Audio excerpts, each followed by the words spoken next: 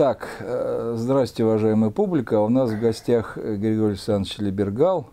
Он, вообще говоря, э, одна из двух составляющих Московского кинофестиваля, да?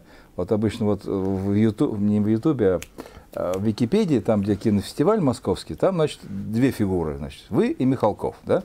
Ничего подобного. Там, там на фотографиях На документальном так. фестивале Один. две фигуры. Почему? А, так.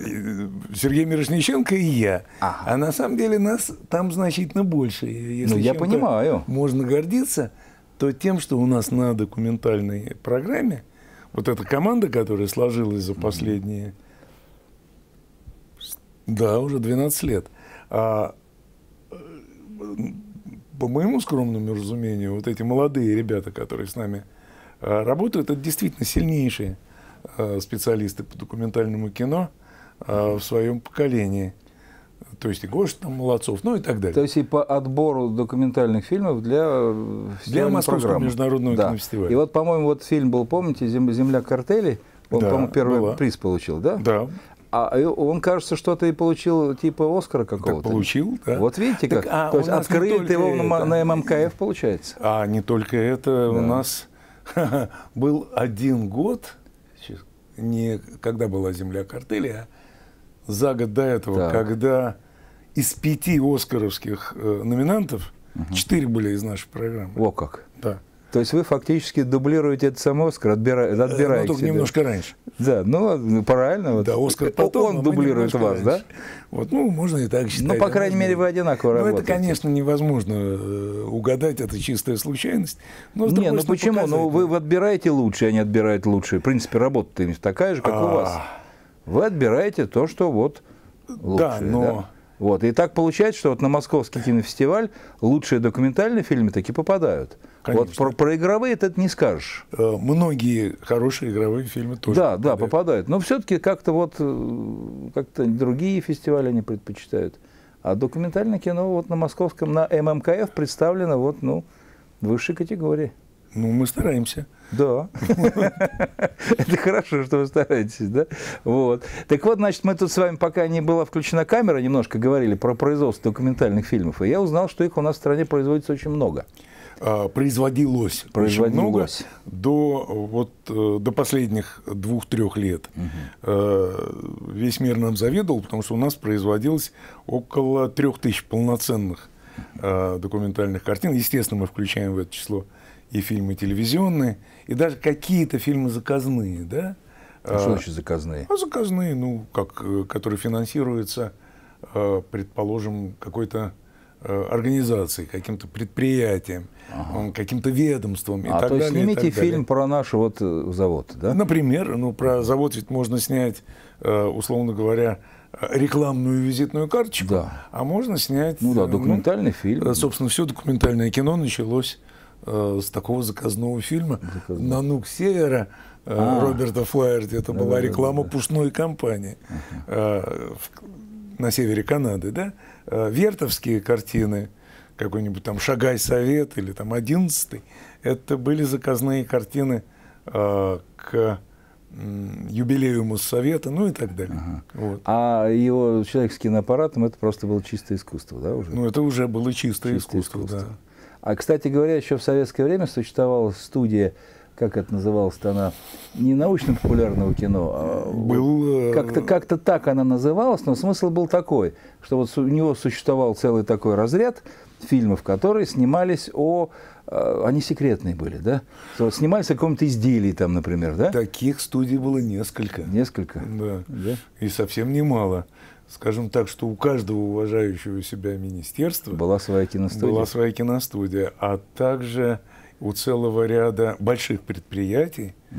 и у целого ряда э, предприятий внутри предприятий тоже была своя студия. О, и у некоторых учебных заведений были свои студии, иногда они назывались любительскими, но чаще всего они э, обслуживались профессионалами. Ну вот учебное кино, кстати, и вот это вот такое вот документирование всяких там испытаний и так далее, это все-таки специфическое кино. Это Безусловно. К документальному, наверное, не отнести такое. Почему? Это, конечно, часть документального Ну, это кино. как лекция, запись лекции, что документальное кино. Понимаете, есть вопрос, лекция. как сделать, да, и ну, кто лектор, и... Нет, и, ну, э, да. И как свет поставить, и как камеру поставить, и как это смонтировать. Мы mm-hmm. же видим... Э, документальное кино тем и интересно, что э, оно может притворяться кинохроникой, оно может притворяться э, какими-то простыми монтажными вещами, а потом из этой кинохроники, из этих э, простых монтажных стыков вдруг возникает какое-то э, совершенно авторское произведение искусства, вроде бы сильно-сильно переросшее свои исходные материалы. Ну так в любой а, нон-фикшн, как это теперь принято да. называть, и в литературе также, и в документальном кино, которое и есть это самое нон-фикшн, да. а, только в кино или в телевидении, или в том, что движется, еще поет и разговаривает. Uh-huh. Вот. И а, естественно, что а, это может быть журналистика, это может быть репортаж, но это может быть совершенно авторская, стильная, артхаузная или массовое э, произведение искусства кино. кино. Все. Так вот, значит, было несколько лет назад у нас производство трех тысяч Около трех тысяч фильмов производилось. То есть фактически 10 э, фильмов в день, по крайней мере, в рабочий. Ну да, Это вообще так. сумасшедший объем. Это в основном телевизионные производители? Естественно. Большая страна, Много большие каналов. телевизионные да, каналы, там сколько у нас, у нас субъектов федерации, 89, угу. да? И в каждом наверняка свое телевидение. И практически, нет, телевидение, конечно, есть, есть в каждом, но во многих из них а, еще со старых времен, советских времен, а, есть какие-то небольшие студии, коллективы, которые привыкли делать достаточно качественное документальное кино. Все эти местные школы советские, да, mm-hmm. они, собственно, прославились еще э, с тех э, времен, когда телевидение у нас делало первые шаги. Харьковская какая-нибудь телевизионная студия с Самарием Зеликиным в главной роли, да, который потом переехал в Москву. И, э, его уже нет несколько лет с нами.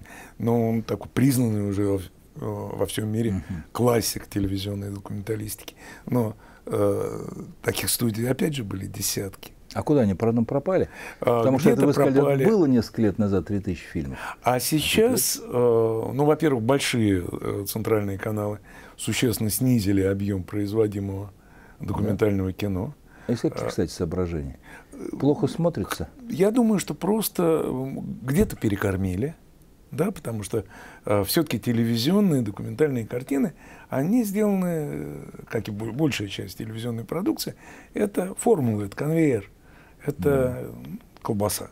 Да. Э, и если вы видели 25 фильмов там, про какие-нибудь события, э, отраженные 155 раз э, в этих документальных ага. фильмах, то на 156 раз вам уже не так захочется все это смотреть.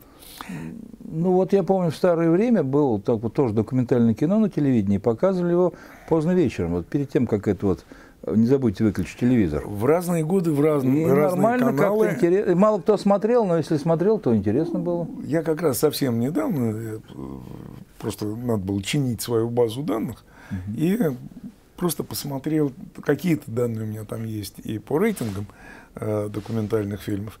И э, вовсе там не было, что мало смотрел.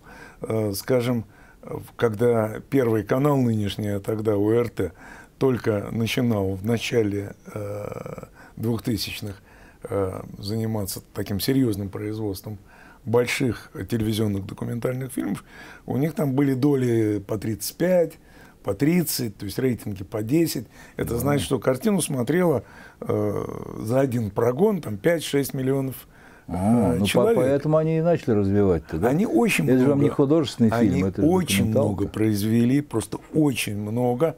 Я думаю, там, опять же, речь идет о сотнях и тысячах картин за эти годы. У каждого из этих каналов. И у Первого, и у России, и у Культуры, и даже у ТВЦ. А, но сейчас вот просто как-то этот поток Наелись. иссякает, да. И а, остаются картины, которые делают ну, прежде всего, независимые э, наши продюсеры и режиссеры, э, получая деньги э, на конкурсах в Министерстве культуры, то есть государственные гранты, а это где-то 400-500 фильмов э, в год получается. Тоже огромная цифра на самом да, деле. это каждый день по два фильма. Это каждый Один, день по одному фильму. Ну, одному. ну 500, да, ну, примерно. Ну, полтора. Да. Ну, там короткий метр, многие из этих картин там 20-минутные. Там. А в прокат они выходят обычно? А, Понятно, что по телевидению нас всегда кормят, в общем-то, документалистикой тоже. Да, есть, есть но далеко не все картины, тем не менее, попадают и на телевизор, и уж точно далеко не все картины профинансированные, в общем-то, с идеей, что они могут быть выпущены в кинотеатре, в эти самые кинотеатры попадают. А, но тем не менее, а, пусть в лимитированный прокат, пусть только в больших, э, ну, скажем, университетских городах, но а, все-таки сейчас можно посмотреть в кинотеатрах в разы больше документальных фильмов, чем, скажем, 10 лет назад. Ну вот вы сказали, до того, как мы включили камеру, что в Москве 58 залов, где... Да, где показывают регулярно или сравнительно часто э, документальные фильмы. И э, если, э, скажем, лет, опять же, 10 назад выпускали документальные картины на, ну, на трех, на четырех, иной раз на одной копии, да, сейчас уже это в порядке вещей, когда 50, 60, 70. Так надо по 70 городам, по крайней мере, развести. Нет, зачем? Ну, у вас просто много залов. Жизнь э, фильма в кинотеатре ныне э, достаточно коротка. Несколько недель. Несколько, ну, максимум 3-4 да. недели, да. И поэтому вам приходится печатать довольно много копий. Очень трудно, э, даже в документальном кино, сделать так, что две недели этот фильм идет в Москве, а потом эта же копия идет в Нижнем Новгороде две недели, потом эта же копия, ну и так далее, и так далее. А, слушайте, а сейчас что, те же самые копии вот на пленке? На кинопленке уже давно нету. А, ничего нет, в зависимости от того, есть то, что называется DCP. Да. Это жесткий диск, на котором записан не сжатый компьютерный файл, Э, с которого и проецируется. И вот это имеется в виду копия, это вот запись на DCP, да? Да, в этом есть ключ, который позволяет его активировать только в определенном кинотеатре. То есть нельзя, э, каждый сеанс учитывается, да, тем самым. Вас есть э, количество разрешенных показов. Да. И ну, все достаточно уже становится сложно, а дальше, я думаю, а еще хитрее будет. Я вступлю и вопросик вам задам. Давайте. А, смотрите, вот эм, э, я сейчас понял из ваших слов, что проблема проката вот такого, э, ну, скажем, не очень популярного кино, как документальное кино или короткометражное кино, да, она стоит, да? Конечно. Да. Вот смотрите, эти э, фильмы, как правило, в большинстве своем производятся на государственные деньги. Да. Почему эти, то есть мы всем народом Российской Федерации сбросились, и там кто-то там выделил Министерство культуры, кто-то снял фильм.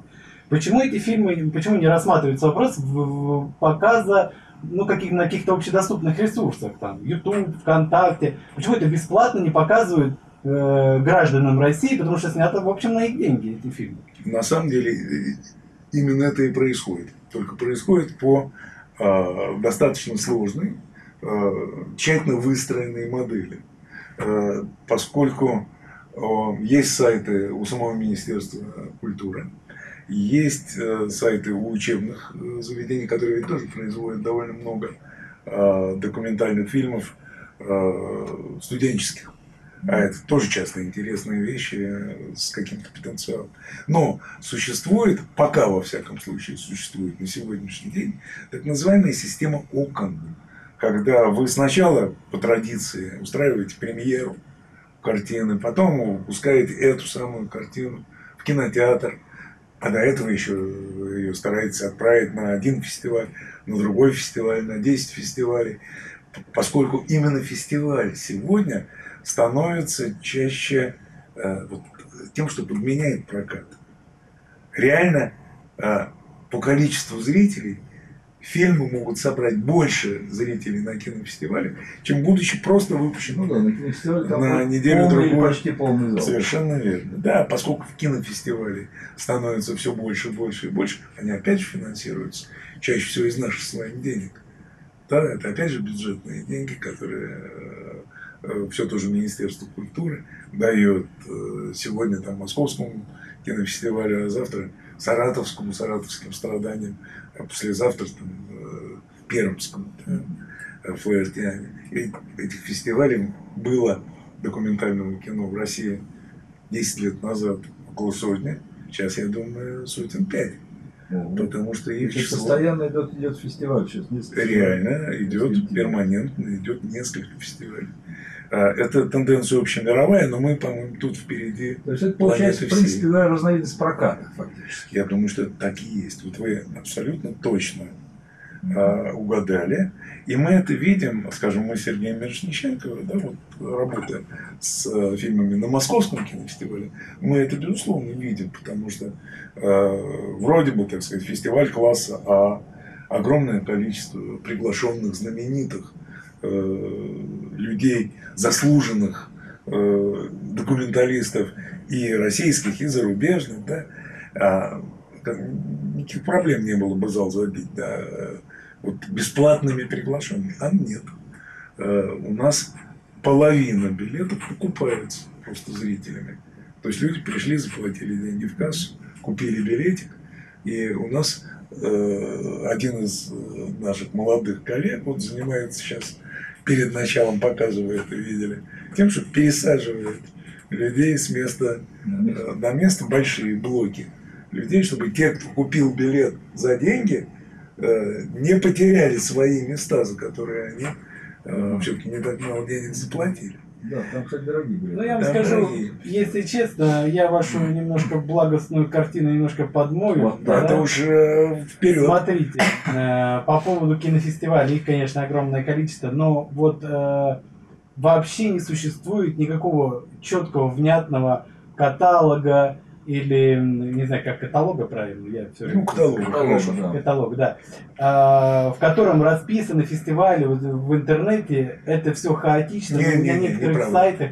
Я этим правда. занимаюсь регулярно, я снимаю короткометражные фильмы, которые мало кто смотрит, я отправляю их на фестивали. Отлично, вот вам вот моя визитная есть... карточка, выходите в кадр. Да, да. Да. Вот, позвоните мне, и я вам дам Э, адреса тех самых ресурсов в интернете, на которых по хорошей системе, со всеми так, сроками, на... когда нужно сдавать, когда дедлайн на одном фестивале, когда дедлайн. Ну вот я знаю один Просто такой ресурс, да. А таких ресурсов вот, десятки. Вот какие-то хорошие, какие-то не очень ну, хорошие. Их через поисковики, например, нельзя найти. Это а, же ненормально. Почему? Но это проблема поисковика плохого. Или проблема, проблема культуры. Нет, а, это не это очень боком проблема Министерства культуры.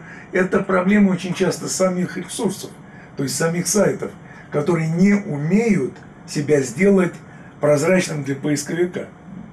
То есть получается, что вроде сайт есть, я а поисковики, что а при чем это Министерство культуры? На, нет, подождите, это народные деньги, которые вкладывают в фестиваль, в том числе его в продвижение, в раскрутку, правильно? Правильно. Фестиваль, чем больше людей посетило, чем больше э, режиссеров посетило, зрителей посетило, тем лучше. Это должно быть э, как-то в поисковике продвижение какое я не знаю, какие механизмы Значит. Плохо работают, да? Плохо да, работают. Плохо это народные деньги растрачены, ну, я не думаю, что они там совсем плохо растрачены, но то, что это должно быть э, э, каким-то образом понятно, открыто и видимо, да? На самом это... деле есть целый ряд э, вот, киношных таких ресурсов, ну, например, сайт гильдии неигрового кино и телевидения России, где абсолютно четко выстроена э, система того, куда вы можете послать сегодня свой фильм и успеть на какие фестивали, да? А когда дедлайны? На гильдии кино не, не говорите. На гильдии там класса фестивали, да, я не спорю. Почему? Какие кино, класса? Э, Фестивали класса в мире, извините, 18 штук. Да, да. Ну и еще а там, там десяточек э, пара таких сотен. пониже, да. А там пара сотен. Разумные фестивали. Зачем вам э, фестиваль, за всеми фестивалями не угонишься. Наши зрители проверят. Хорошо, давайте. Вот. Увидите, что это ну, Пару сотен хорошо, это практически каждый день куда-то можете послать. Да, они постоянно где-то идут. Вы знаете, что я этим постоянно занимаюсь? Я знаю. Я постоянно это ищу. Это, это очень сложно. Часто э, фестивали ссылки не работают, фестивали, сайты уже продаются, фестиваль, который существует в каталоге, где-то, да, в другую, ты заходишь по ссылке, заходишь, а, а сам ресурс уже продается, то есть э, вот этот, а, ну, не IP, а как он называется, адрес, интернет-адрес, он уже выставлен на продажу. Понятно, что уже какое-то время. Значит, а он... этого фестиваля уже нет, или у него да, да. давно А он существует в, в, в поисковиках. Обновляет, да, в Гильдии да. обновляет. Да, ну, да, проверь, достаточно. Вас... Там были проблемы, но сейчас они несколько лет уже как решены. Ну вот. Так что хороший ресурс. Смотри. Хорошо, Другое да. дело, что там идет речь только о документальных фильмах, естественно. Ну, я, конечно, да, я про игровые. Больше игровые, я, конечно, тогда не ко мне, найдите. Вру вам, да, по этому поводу, потому что я-то искал как раз игровые фильмы. С игровыми это большая проблема. Я имею в виду вот какой-то такой систематизированный каталог, да? Ну, его каталог. нету. Естественно, потому что живой фестиваль, живой организм. Их все больше, больше, больше во всем мире. Это понятно, да, тенденция ясная. И она будет продолжаться какое-то время, во всяком случае.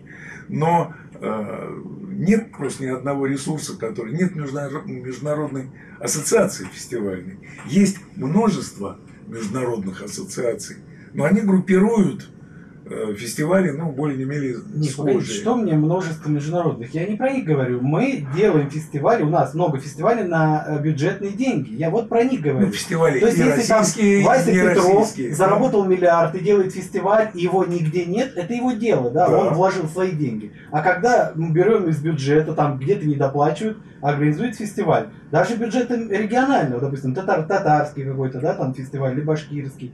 Почему нет э, какого-то я думаю, что Министерство культуры должно этим заниматься, кто же еще, да? Ну, или какая-то подобная организация, да? Смотрите, у нас несколько творческих союзов, у нас несколько структур э, таких государственного регулирования, типа того же Министерства культуры, э, но э, на сайте Минкульта, насколько я знаю, есть какой-то фестивальный там, это, да, на сайте Союза есть это все а, вот, ну, за гильдию это я могу отвечать. Ну, это живая вот э, Сегодня так, завтра живая проблема. Я Затронул, последний год, вот я закончил посылать, я искал, там по фестивалям ходил, вот год я, да, прошел по всему кругу. И это очень сложно. Кто-то не отвечает никогда, у кого-то есть сайт, существует, написано, вот 17 год, но э, куда послать этот фильм вообще непонятно. То есть оно как бы все красиво. Игровой? Да, да все это оформлено, все это красиво стоит, вот ну, идет прием работ, но никуда не пошлешь. Хоть стой и кричи перед монитором, товарищи, а адрес-то где адрес?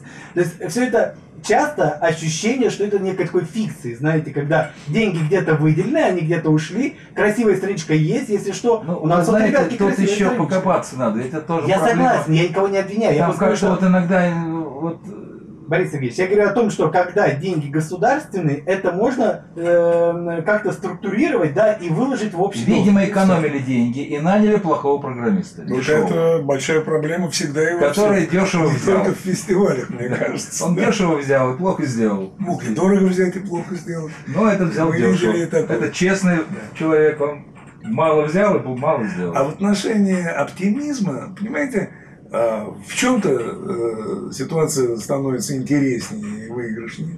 Стало легче нормальному человеку, зрителю, посмотреть качественное документальное кино. Действительно легче. А, но это, опять же, если ты живешь в Москве, Петербурге, Екатеринбурге, Нижнем Новгороде и так далее.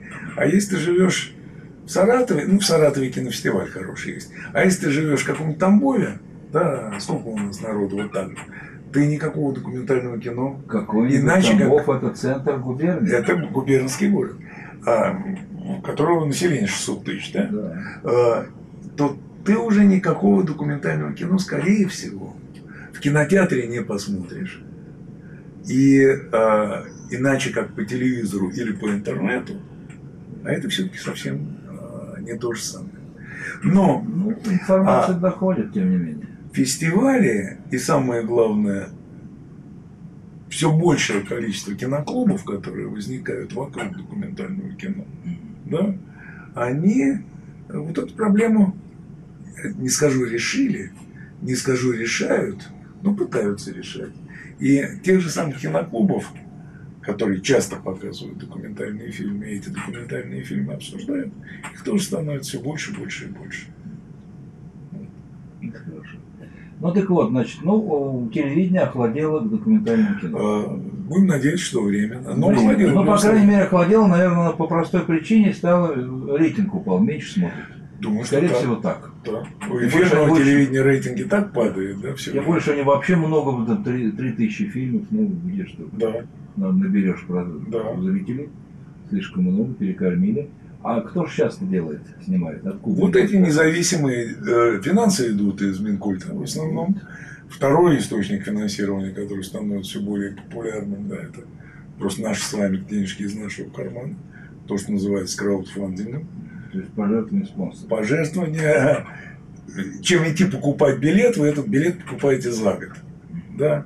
И, э, Кстати, да, действительно. То есть вы просто финансируете еще не снятую картину, а потом, когда она готова, вы уже не покупаете билет, а просто идете ее смотреть. Поскольку вы уже за этот билет заплатили тогда. Да, все. И уже несколько э, десятков картин, в том числе, в общем, хороших. А какие-то частично, какие-то полностью были профинансированы именно э, таким образом. А вот давайте посчитаем. Значит, вообще говоря, сколько зрителей обычно у документального фильма? Ну, это на самом деле э, в кинотеатре. Да. А, Если мы говорим просто о кинотеатре, то очень немного. Рекордсменом является, опять же, вот фильм, который мы покупали.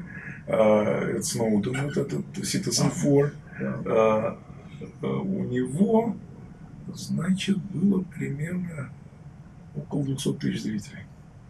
Ну, это рекордсмен. Да. А вот те, кто со- созданы на пожертвование, вы говорите, что вот они пожертвовали, Ну, собрали, как хорошо. бы билет купили, да? Да. Это ж сколько надо билетов продать, чтобы фильм окупился? 5-10 тысяч. 5-10 тысяч он окупится, Ну, да? билеты дорогие. А, ну да, да, да, по полтысячи, наверное. Ну, это даже если по 300 рублей, по 400 Ну, рублей. да, Все равно же не так, чтобы сильно дешево. Пожалуй, да, пожалуй. Вот. А стоимость производства, тоже, кстати, интересный момент э, в этом есть, Надежда, она все больше и больше падает. Да, Ну, наверное, потому что. Технологии э, развиваются, и все действительно становится все дешевле. Хотя есть некие вещи константные, э, там ничего не меняется. Например, э, Камера все-таки дешевеет, больше свет камеры дешевеет. свет дешевеет, авиабилеты не дешевеют. Да. Вот. Гостиницы не тоже не дешевеет. Да. Аналогично. А вам хотите вы того или не хотите, приходится э, очень мало фильмов, которые можно сделать в архиве монтажные, да, а все-таки чаще всего люди ездят э, где-то ищут своих героев. И если фильм, кстати, художественный, что интересует нашего режиссера, то там, опять же, аренда, скажем, павильона, это тоже дешеветь не будет, очевидно. Ну, она И- достаточно э, дешевая уже сейчас. Ужасно дешево. А все, что могло там подешеветь, мне кажется, за последние 4 года подешевело. Да, а дальше вряд ли уже будет дешевле. Но это в игровом кино. Документальное все-таки. Документальный павильон, конечно. Вот Что за документальный? В докудрамах э, снимают А. в огромном количестве. Да, А но что опять- такое докудрама? Докудрама – это гибрид игрового и документального кино, который был э, особо популярен на рубеже веков, вот где-то там с 97 года до 2005 года, да, и где вроде бы много актерских реконструкций, в основе своей вроде бы все документальное, но разыгрывают эту документалистику актеры, ну, вроде как это не какие-то знаменитые актеры, а вроде как актеры совсем какой-то третьей, а то и четвертой руки. И они э, не такие дорогие, как вы понимаете. И э, с другой стороны, зритель привык смотреть игровое кино. Вот мы ему покажем вот такое игровое кино. То есть с художественной точки зрения это был полный провал, а вот с точки зрения экономической действительно э, было много фильмов, целый ряд вот этих таких богатых, э, прежде всего BBC-шных э, картин, вот на исторические темы или там на околонаучные, там, костюмные, поскольку костюмы тоже можно взять сейчас дешево на прокат, да, после всех этих больших игровых картин. И, кстати, американцы делали тоже очень много реконструкций вот своей гражданской войны. Да, но тем не менее, вот, э, как был лучшим фильмом э, гражданская война. Нет, я имею в виду документальную. Самая знаменитая, огромная там, часть американского культурного наследия. Любой американец, вот картину там три, сериал 12-часовой. А, каждый американец там раз по три наверняка видел, дети они сочинения пишут в школах, а фильмы. Это какого же года фильм? 78 И он так и называется? Гражданская война. Построены на письмах, на фотографиях, на э, живописи, на э, голосах совершенно фантастических актеров, которые создают эту очень сложную такую симфонию, мозаику. Вот. Все подлинное, все документальное. Кинохроники, естественно, не было в это время. И тем не менее, это, конечно, при этом это, конечно, художественное произведение. Авторское вполне. Очень интересно.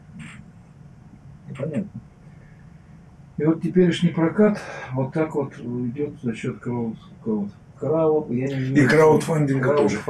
да? Да. Тут надо запомнить. Да, то есть финансирование толпой. Толпой. Да. А, вот как. Краудфандинг. А, вот как. Ну, фондирование. Ясно. И что сейчас вот что-нибудь получается хорошее из всех этих фильмов? Ну, это просто много. такая масса, которая вот, ну, интересует людей. Так людей же не просто так это интересует, значит, так, э, тому причины есть. есть да, тут дело... Какие на... темы, например, так вот вызывают? Людей? Ой, все что угодно. Вы знаете, вот тут просто я остерегся бы э, говорить, потому что вот разнообразие тем, разнообразие приемов может соперничать только э, с тем вот с разнообразием стилей документального кино. Потому что вот от и до, от игрового кино практически, да, вот те же самые докудрамы, но есть масса других э, способов делать кино на границе, на рубеже э, между документальным и игровым. Появился новый жанр, модный очень. Фестивали появились специальные вокруг этого. Называется анима-док. То есть мультипликационные фильмы. Это вот на этом фестивале был один такой фильм. Да, совершенно верно ну, э, скажем, э, существует уже несколько фестивалей, где только такие фильмы показывают. Да. В Лейпциге уже много лет, очень хороший, еще в ГДРовские времена был замечательный фестиваль документального и мультипликационного кино. А теперь там дают одну из главных премий именно за э, мультипликационную анимированную документалистику. Ну, это вообще как-то немножко... То есть это, в принципе, получается... То, что вы не можете снять, вы можете нарисовать. Да. То есть у вас актера нет, да. да? то есть обмана нет тем самым, искусственности нет. А вы прекрасно понимаете, что это рисунок всего на всем. Чем-то это напоминает, это вот как для лекции это делают э, презентацию. Совершенно верно. Только она Конечно. движущаяся. Она движущаяся, и опять же она может быть любой. И то, как она стилистически увязывается с остальными э, работами внутри этого фильма, да с э, его изобразительным или звукозрительным рядом, с традиционным, вот как увязывается с этим э, этот звукозрительный ряд анимационной части вашего э, фильма. Очень интересно. Вот. И, а на другом полюсе абсолютно вот такие чисто хроникальные картины, которые стремятся к максимальной объективности, из которой автор – старается самоустраниться, да, чтобы вот была вот правда и ничего кроме правды. Вот я поставил камеру на штативе, э, нажал кнопку запись и ушел. А значит, то, что она зафиксирует, это будет правда или нет? Гиперреализм. Да, гиперреализм. Ну, можно сказать, что будет зависеть от того, а куда вы объектив направили. А вот год два назад ты был как раз на фестивале э, фильм а, политик американский. Он, значит, разрешил как бы снимать свою вот предвыборную кампанию. Это замечательный фильм э, «Винер». «Винер», да. «Винер». Да, я очень рассчитывал как раз на то, что он возьмет Оскар в этом году. Но его, он был первым в, в шорт-листе еще. А. Но поскольку оказался супер актуален. Слишком остро. Он оказался впрямую, слишком затрагивал интересы э, демократов. И было, как я догадываюсь, сделано все, чтобы эта картина э, в Оскаровский список не попал. Не попал.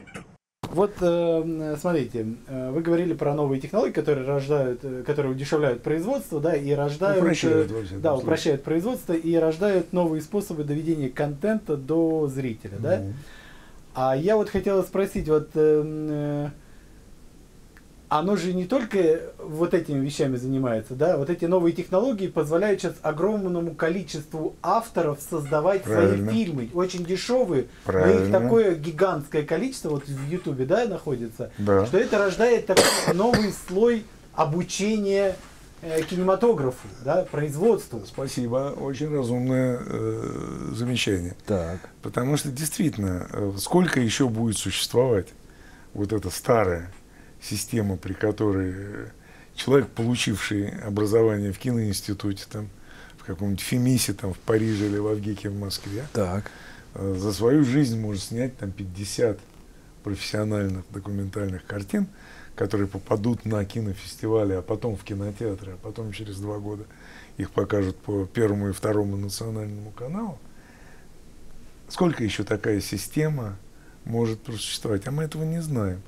А, уже сейчас понятно, что а, систем восприятия кинофильма стало как минимум три, да, то есть есть, а, есть старая вот кинотеатральная коллективная система, mm-hmm. есть такая групповая система, когда народ смотрит на телеэкране, неважно откуда идет сигнал, и есть система, когда человек смотрит это индивидуально. Опять неважно на чем, э, неважно откуда идет сигнал. Так.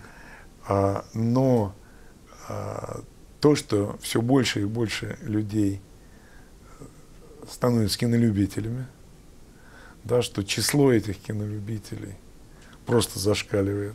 Мы сейчас говорим о профессиональном уже сообществе документалистов, которое реально насчитывает миллионы людей. Угу. Люди, которые снимают, начинают снимать на телефон, но потом увлекаются, э, начинают читать книжки, начинают кто-то идет э, учиться, если может, кто-то учится дистанционно, если не может.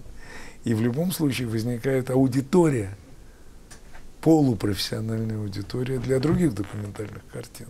Да? Угу. И это растет как э, снежный ком. Любительское а такое документальное кино. У нас это только вот самые-самые первые шаги. А в мире-то это просто уже э, состоявшееся что-то. Действительно уже э, тысячи подобных фильмов выкладываются куда угодно. Ну, в YouTube прежде всего, да. Но на самом деле и этих платформ э, уже сотни. И э, фестивалей онлайновых э, уже сотни. И э, интерес к этим фестивалям растет точно так же по экспоненте. И э, технологически сегодня э, там VR, то есть вот виртуальная реальность, mm-hmm. да, это, э, в общем-то, эксперимент. Два года назад его показали там в первый раз, по большому счету, да, а сейчас это уже э, система, в которой работают тысячи людей по всему миру. Mm-hmm. И э, очень может оказаться. Вот мне Люси Вокер, помните, была у нас на фестивале такая замечательная картина «Свалка». Mm-hmm. Несколько, когда, лет 8-10 назад. Mm-hmm. Я продолжаю оставаться там, ну, общаюсь с ее автором, она одна из самых интересных режиссеров современности в документальном кино. Она сейчас очень много занимается параллельно с традиционным двухмерным кино, она очень много стала заниматься этим, VR. А, причем именно документалистикой. И там просто люди новый язык изобретают, киношный. Да? И а, он не сможет ее фильм быть показан на традиционных э, экранах, mm-hmm. да, значит, э, придется создавать еще одну параллельную индустрию. Другими словами, то, что это сейчас так бурлит, э, приведет к тому, что интерес публики, прежде всего к документальному кино в новых формах, безусловно, будет расти. То есть просто не может не расти. А, потому как слишком много э, возможностей для открытий. То есть, Сейчас в принципе говоря, в основном по количеству просмотров суммарному, да, получается, вот это вот любительское кино, которое через YouTube распространяется, да, наверное, вот среди документального оно основную массу составляет. Естественно, потому что считать по минутам людям проще снять то, что реально есть, да. чем э, разыгрывать что-то. Не, ну документальное кино снимается и для, так сказать, большого экрана, ну профессиональные документалисты. Я говорю от и до. Ну да, Просто вот, вот это часть, которая... Так вот, YouTube, наверное, по, по времени просмотра, он, наверное, становится вообще доминирующий. Правильно, ну, для кого YouTube, для кого Vimeo, там и ну, так да, далее. да, да, да, да, вот это я имею в виду. А, Дистан... Но и этих платформ, я говорю, уже... Дистанционные платформы. Очень много. И обратная сторона этой медали, так, да? Так, сейчас нас осадить на землю. С одной стороны, э, вы правильно говорите, да, их очень много авторов. С другой стороны, сегодня, вот чем было интересно раньше авторское кино, да, мы смотрим человека, допустим, из Сибири, его изучает автор, показывает его уклад жизненный, мы этого всего не видим, не понимаем, живя в Москве, да, и это интересно, по-своему, раскрученная история, есть там еще история есть, да. Сегодня мы этот уклад видим в два клик, клика мышки, да, мы э, легко погружаемся в любой мир, потому что в Сибири снимают, в Москве снимают, в Саратове снимают, везде снимают. И вот этот уклад, он не становится таким для нас интересным, потому что он доступен. Он постоянно доступен. Очень много интересных людей, разных э, событий выложено. Все это уже в Ютубе существует в разных видах. Это первый тезис. А второй тезис – публика.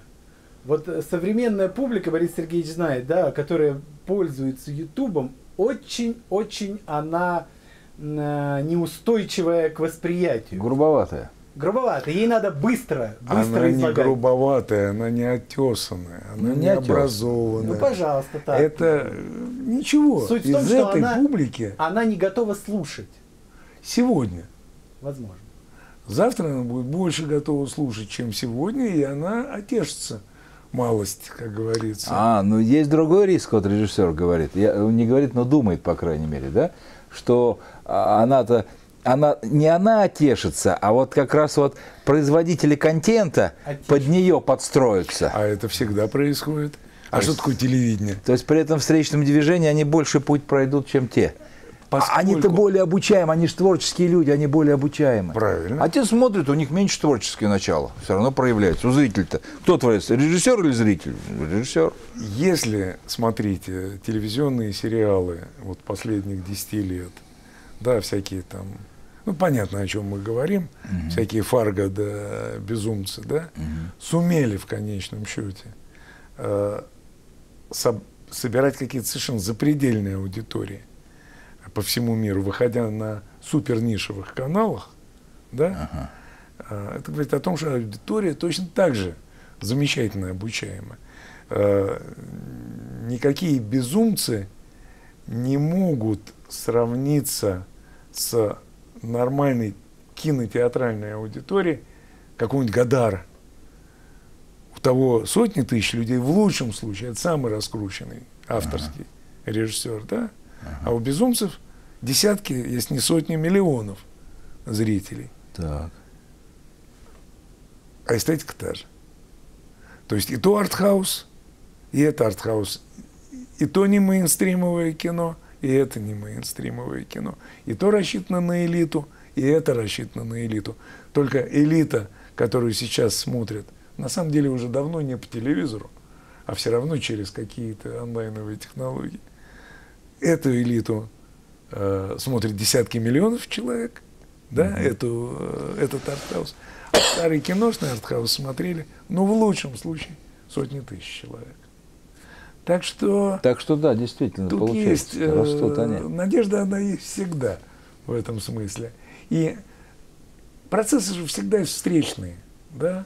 То есть, с одной стороны, вот растет база для э, качественного документального кино, его ведь можно считать одной из, из разновидностей артхауса. Угу. Да? А, со своими а, нет, нет, нет, нет. А, с другой стороны, да, конечно, так сказать, качество среднее а, вот этой аудитории, оно вроде бы немножко снижается за счет, просто за счет того, что оно, э, приходит все новые и новые, огромных количеств приходят новые зрители, которые вообще ничего не знают про То есть среднее кино. значение уменьшается? Уменьшается, совершенно верно.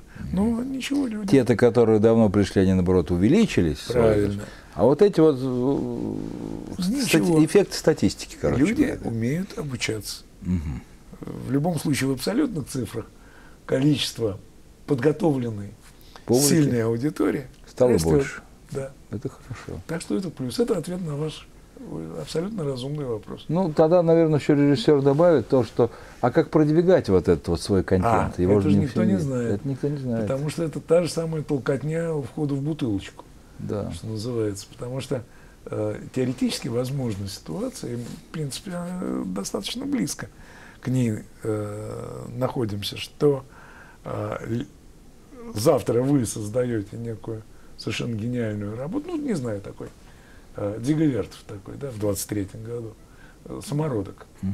Придумали что-то принципиально новое, сами не знаете, как придумали. Сделали такое кино, коротенькое, 15-минутное, одним планом, я не знаю, с каким-то своим приятелем-актером. А он и не актер, а просто ваш друг. Вот гениальное, прорывное кино «Гражданин Кейн» такой, да? А поскольку делают нынче фильмы миллионы и выкладывают их в миллион мест, и вы выложили свое кино там в 20 мест. И те люди, от которых зависело бы это кино заметить, понять, важность этого кино, а дальше раскрутить это кино и дать вам возможность дальше Но работать это... профессионально, а эти люди о нем так ничего и не узнали. Не заметили его. Да, и те там 50 человек, которые посмотрели ваше кино, ну просто ну, не оценили по э, своей, ну, неподготовленности, скажем так. Да. Вот так. И это уже, это уже очень печально возможность. Ну, это уже давняя проблема. Она была всегда, это естественно. Нет, просто вот с интернетом, да, просто про кино, видео, это сейчас возникло, а вот про писателей, да, раньше же писатель, вот он же писатель, да, а как ну, его интернет, тоже надо было опубликовать. это развелось ого все писатели. Но поскольку э, нынче с рынка исчез самый главный человек, да, который этот рынок структурировал, то есть редактор. В кино это называется продюсер. Угу. В издательском деле это называется редактор. В газетном деле это опять называется редактор. А э, сейчас в издательском деле редактора нет. Вот, соответственно, царит полный хаос. Ну, разве уж нет, прям, наверное, есть. Нет. Так, ну, в нескольких издательствах есть, конечно. Но в основной э, массе вы посмотрите, э, что выходит, и в каком виде это выходит. Не, ну кто-то ведь определяет, чего печатать-то. Вот он издатель. И, издатель. А, а, а редактора издатель. уже нет. Вот он так, опирается да. наверняка на знание редактора. А ничего он уже не опирается. Он опирается на то, что у него денег ни на что нет. Ну, кто-то ему у меня сейчас жена, она крупный э, ученый, так. да, она сейчас издавала новое издание своего учебника. Так. А, и, я просто вот вижу, что Ежели сам не сделаешь, то есть автор, если не сделает абсолютно все, вплоть до метрампажирования там, да, угу. то и, и выйдет э, кривокоса. Потому что там дальше уже нет ни одного грамотного человека. А издатель есть, но его волнует, э, хватит ли у него денег купить бумагу. Все. Они, да. Не только за качеством не следят, но еще и не отбирают. И за контентом не следят. И за контентом не следят. Да. Печалька. Печаль, печаль. И это, опять же, это не только у нас, это общемировое. Угу. Приходят монтажные листы э, с фильмами, да, э, их же переводить надо, субтитры делать. Качество этих монтажных листов. Значит, человек не способен, сидя там в Париже, слушая французский фильм, расписать по-французски то, что эти люди говорят. Потому что продюсер вынужден нанимать для этой, в общем технической работы не даму выпускницу Сорбоны, да, угу. потому что она просит зарплату какую-то, а только что приехавшего в эту страну иммигранта, который этот французский знает через пень-колод, просто не, не, не понимает того, что слышит. Угу. Но зато он согласен работать. За маленькие деньги. За маленькие деньги. Ну, мне кажется, это какое-то упрощение. А продюсер нет, сам не, не заинтересован разве в том, что а у продюсера денег нет. качественные листы. А продюсера ну, денег нет. Ну, погодите, он, он очень нашел деньги на фильм, на продвижение фильма, а вот на то, чтобы написать... Ну, это э, часть продвижения фильма. Правильно, это... но это небольшая часть. Это очень большая часть. Написать диалоговые листы? Не, не написать, записать диалоговые Записать диалог, листы. Ну, это немного. По сравнению с производством Конечно. фильма, с продвижением фильма, это копеечные ну, Какие расходы. копеечные? Когда выясняется, что это там 2000 евро за часовую картину надо э, ну, заплатить. так много да, стоит нормально. расписать? Да, э... стоит э, высокие налоги, высокие зарплаты и все. А можно там ну, товарищ, который... сел бы сам продюсер за два часа расписал. А у него времени нет. Продюсер э, мечется по питчингам, продюсер мечется по э, всяким министерствам в надежде э, заполучить грант на следующую картину. Ну, мне кажется, это все-таки преувеличение. Нет, ну я просто, я это вижу. Ну, то, что вы получаете, это я понимаю, я не, я не, я не спорю про это. Я к тому, что это часть вот той истории про подход, да, когда нет редактора, когда он, это не только от того, что нет, и мы хотим сэкономить, а дело в том, что часто происходит так, что к делу начинают относиться спустя, спустя рукава. рукава да. О, вы знаете, я вот подозреваю чего. Может быть, это просто первый опыт применения компьютера? Ведь компьютеры сейчас понимают слова-то, да? Там вот. Нет, это не Вердана там какая-нибудь. Mm-hmm. Это Картана или как они там, четыре сейчас этих систем. Значит, нет, это не расшифровки. Mm. Это человек расшифровывал. Это все а понятно. что не заставить компьютер расшифровывать? А он, ой-ой-ой, это, опять же, есть Дорогой у меня... мой, вы поставьте у себя, прям в Ютубе, поставьте, там есть штука такая, автоматические субтитры. О, кошмар какой. Вы по прочитаете, вы увидите, кошмар, как это здорово. Да? Ох, это, какой это просто кошмар. вообще не, не ваша речь. Вот так, да? Да, это просто... Буквы там совпадают иногда. Ну, редко. Да, но слова вообще не те. Ну, подождите, может, так они и сделали во Франции это? Нет, нет, нет, там живые люди. Я, тем более, компания, которая прислала эти листы, ну, я с ней дело имею там 25 лет, так что я не поленился, да, позвонил, говорю, что это ты мне подсунула? Он говорит, да понимаешь, у нас тут вот совсем, говорит, реструктури... реструктуризация. Реструктуризация. Вот. Я просто вот на выходных посмотрел э, фильм Гибсона по соображениям совести, да, угу. и вдруг мне пришла такая на ум мысль, что э, вот я про современный российский кинематограф, да, все страдаю по этому поводу. И часто, вот я смотрю фильм, да, и он продуман до таких подробностей, третьего плана герой там заявлен, чего он делает, как он любит и как он не любит жить, да? То есть подробно э, режиссер должен быть таким э, э, перфекционистом, да? Прям вот никаких послаблений себе, никаких не должно быть. А у нас часто вот это вот спустя рукава, вот, ну там он там на седьмом плане пройдет, ладно, кто там его увидит. Вот может быть в этом проблема. В том числе. Безусловно, это тоже конечно, одна из, одна из таких вот ста причин. Да? Я вот что хотел, вспомнил я, немножко, может, не, не в этом русле. Я видел два фильма, оба британские, один BBC, это документальный чисто, а другой, ну, в принципе, на ту же самую тему, но он был сделан как художественный, да? художественный фильм по какой-то пьесе поставленный. Фильм назывался э, военная книга. Да? Mm-hmm. Это значит, э, собирается группа граждан, которые имеют некое такое прошлое руководящее, руководящее да? и перед ними ставится ну, некая модель, ситуация да, политическая. А им всем дали роль, там, ты премьер-министр, ты министр обороны, еще чего-то, да, вот. Ну и они вырабатывают, так сказать, играют в эту игру, вырабатывают некую тактику действий. Да? Вот в частности, ну тот фильм документальный, BBC, по-моему, как Третья мировая, что ли, назывался, типа да. этого, да? Помните? Да, слышал, да. Вот, Не вот, видел, но слышал. А, вот, вот. А, вот, ну вот, интересный, в принципе говоря, жанр. Вот. А, и как-то я так подумал, вот сейчас причем подумал, не тогда, а вот у нас-то ведь такой жанр совершенно вот не задействован, хотя, наверное, было бы очень здорово, да? А, вот я вам скажу, Борис Сергеевич, да. Правильно, хорошее. У нас очень большое было тематическая ну, бедность по сравнению так. с тем, что делают в мире. Так. Ну, вот последние ну, месяцы, даже, может быть, год-два, у нас явно происходит сейчас смена поколений. Или, по крайней мере, в документалистику просто очень так серьезно входят совсем молодые ребята, профессиональные ребята, mm-hmm. то есть э, окончившие в ГИКи всякие mm-hmm. и тому подобные заведения. Mm-hmm.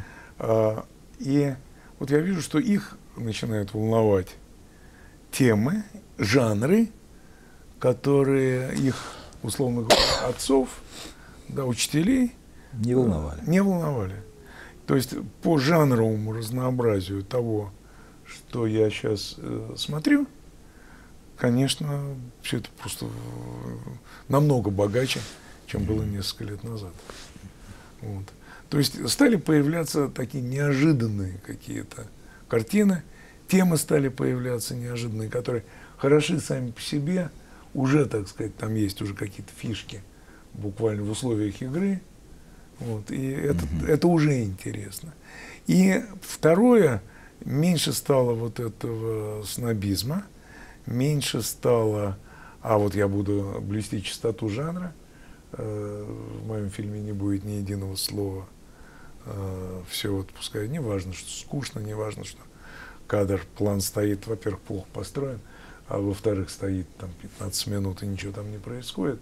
Но вот зато я, так сказать, передаю свое видение мира так, как только я его вижу, и никто больше. Принял а эстафету, то, что... передаю дальше, да? Ну, совершенно верно. И э, этого становится меньше. То есть ребята, которые сейчас заканчивают э, обучение, они все-таки действительно хотят, чтобы их фильмы смотрели, и они хотят коммуницировать со зрителями, а, а не вещать на весь мир о том, какой я умный и талантливый. Это я вот сейчас важно. подумал, у нас ведь много людей есть, которые в прошлом были, ну, капитанами нашего общества, а сейчас уже вполне себе э, в отставные пенсионеры. Да в разных, в общем-то, отраслях, и в политике, и в экономике, и в технике, да? всякие бывшие главные конструктора. Да. И с ними, в принципе говоря, вот что-то такое вот, ну не про войну, про войну это уже, ну, есть два это фильма. делают, да. Да, это делают. Что-то такое вот, о, какой-то так, что-то можно было бы разыграть. так кажется. есть же довольно много подобных картин. Да. Ну, начиная с подстрочника. Он не первый, но, по крайней мере, самый нашумевший, да? Подстрочник? А что это такое? Подстрочник – это такой фильм Олега Дурмана, э, сделанный с, э, с нашей замечательной переводчицей, mm.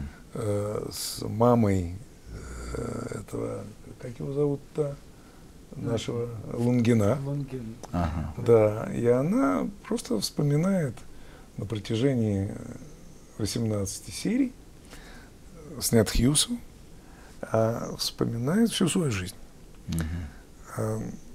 Значит, Дорман это, ну, чуть-чуть, так сказать, э, ну, естественно, он смонтировал, разбавил фотографиями, как, какими-то крошечными кусками кинохроники, получилась история э, человеческой жизни, история человека во времени. Угу. Таких картин, э, вот этих больших интервью угу.